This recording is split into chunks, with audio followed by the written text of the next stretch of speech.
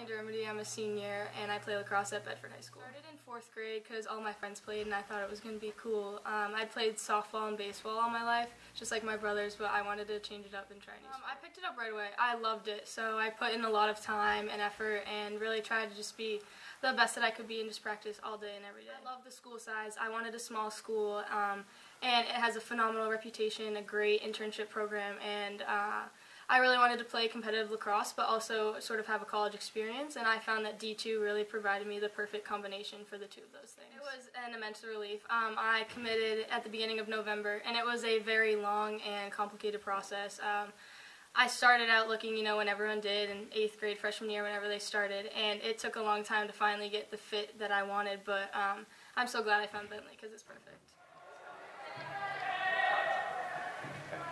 Yeah.